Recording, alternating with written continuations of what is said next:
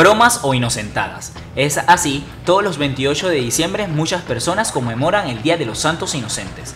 Este día, por años, ha sido tomado para realizar bromas muchas veces pesadas y otras que dan risa cuando te hacen saber que es mentira.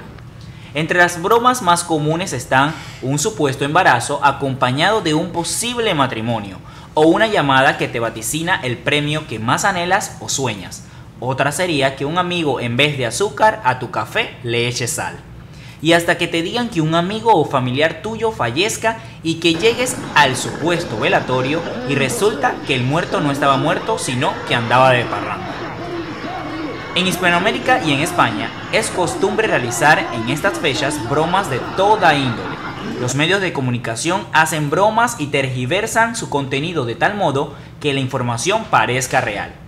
En algunas zonas de América es importante no prestar ningún bien, sea objeto o dinero, pues el prestatario es libre de apropiarse de los bienes. Este tipo de festejo ha venido a menos en años recientes y ya no es usual que la gente pida prestado con la esperanza de que el prestador no recuerde la fecha y se le puede hacer mofa con la muy popular frase inocente palomita al que engaña.